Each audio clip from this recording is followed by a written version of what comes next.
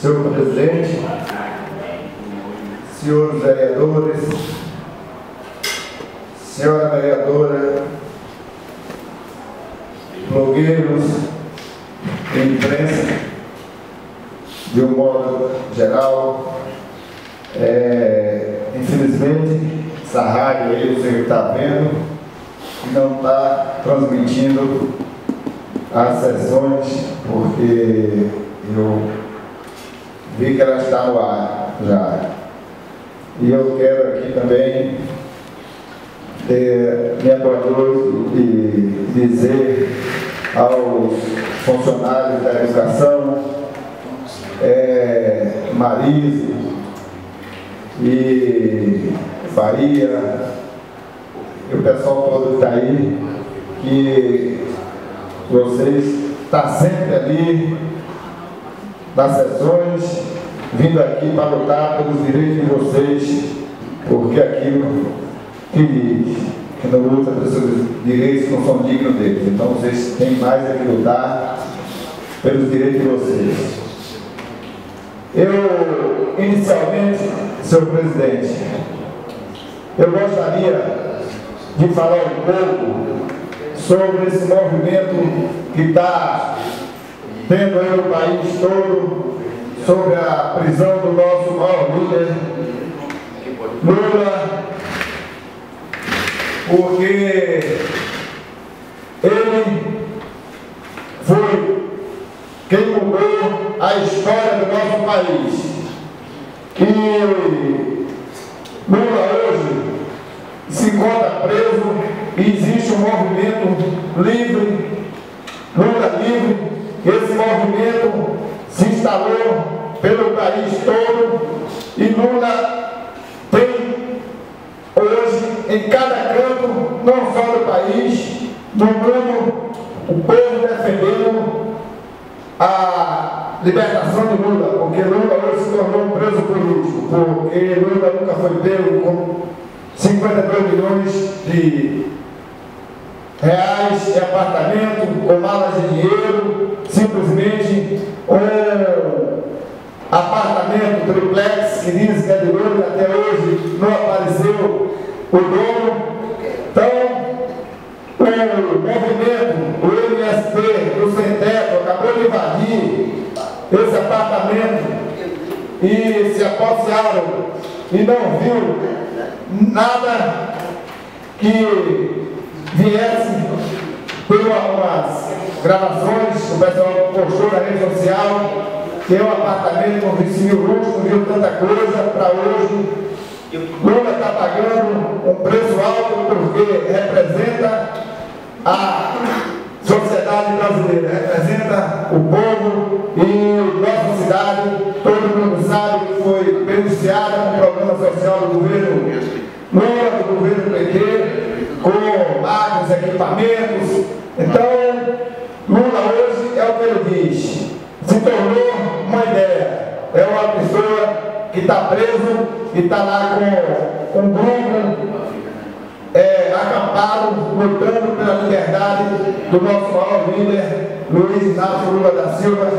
E eu quero dizer aos nossos companheiros que Lula foi presidente do país, foi presidente do PT e de partidos, aonde muitos partidos se aproveitaram, principalmente o PMDB, e os ministérios e começou as corrupções.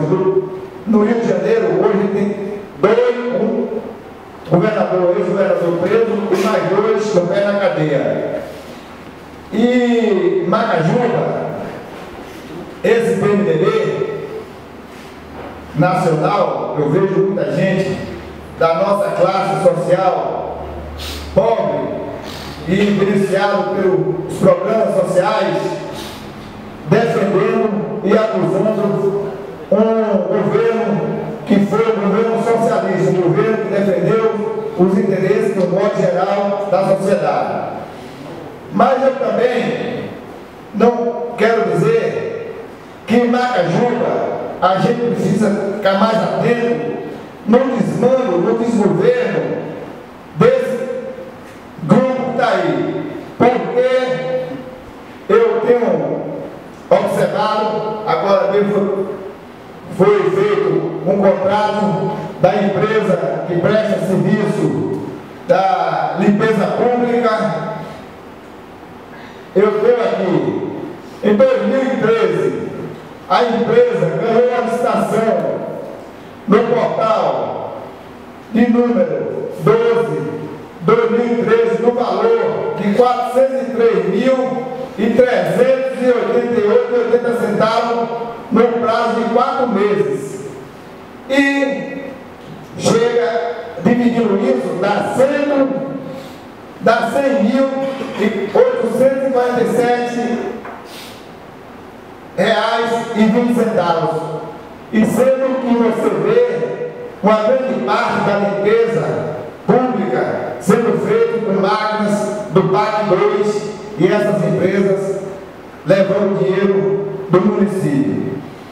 A prefeitura, a, é, com a empresa, já assinou 23 aditivos sendo, sendo datado o último no dia 15 de dezembro de 2017. No mesmo mês, no mesmo mês, é, ele pagou 133,770 mil para essa empresa de limpeza pública com um, uma, é, aumento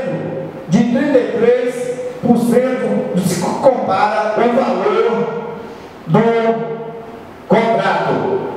Agora, a prefeitura publicou de novo esse contrato com a cooperativa de trabalho da Chapada Diamantina, no qual a mesma, todo mundo sabe, essa outra cooperativa aí da, da educação, um contrato de 2 milhões e 200 mil, o que equivale a 183 mil por mês. Essa, esse aumento equivale aproximadamente 37%.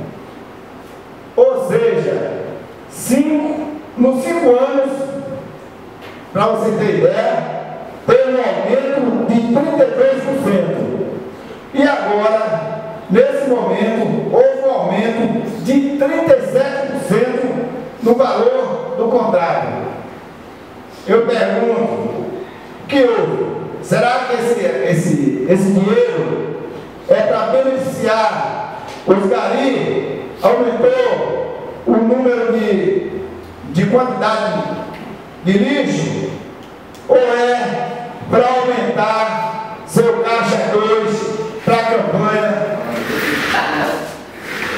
Porque não pode é se admitir essas empresas recém-criadas que foram criadas aqui, empresa já com carta marcada, a empresa de transporte escolar, todo mundo sabe e conhece que o proprietário ali de Santa Luzia foi empresa, logo ganharam a eleição, recém-criada, para, o, o transporte escolar. E essa dirige e vi várias outras empresas que estão tá aí sendo criadas para levar o dinheiro público, como tem um escritório da família Vieira Lima, que também continua levando dinheiro público do nosso município. Vereador Então é isso. Vamos falar, os vereadores, para aqui para dizer que esse prefeito, que essa prefeita, o vice-prefeito está fazendo um bom trabalho. Mas que trabalho? Limpeza da cidade? Corta água? E o povo tirando o direito do povo? Primeiro é respeitar e dar direito aos professores, aos profissionais da educação que estão sempre aqui lutando pelos seus direitos desenvolver um trabalho na educação, na saúde, porque a educação está aí com 4 milhões e 150 mil e até agora nada. Na, eu vejo o pessoal reclamando da saúde. O secretário, o secretário de saúde nem atendeu o telefone, ele atende mais. Então, minha gente, eu gostaria de agradecer a todos e muito obrigado.